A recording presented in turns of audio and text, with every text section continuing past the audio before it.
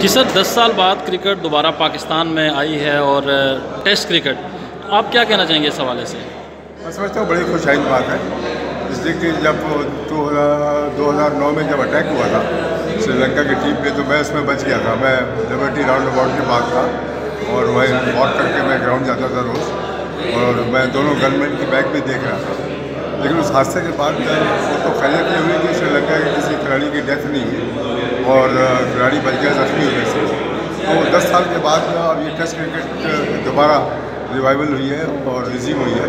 ये बड़ी खुशाइन बात है। मैं समझता हूँ कि it will open the gate जो दूसरी टीम है ऑस्ट्रेलिया या England for that matter South Africa Bangladesh इस किस्म की टीमें आई होप कि वो they will learn from what is going on here between Sri Lanka and Pakistan कि श्रीलंका से सबक सीखेंगे कि वो आकर खेल के गए दो टेस्ट इससे पहले वनडे सीरीज़ तो ये बड़ी अच्छी मैं समझता हूँ पाकिस्तान के लिए पाकिस्तानियों के लिए ये बड़ी खुशाइन सीरीज़ है।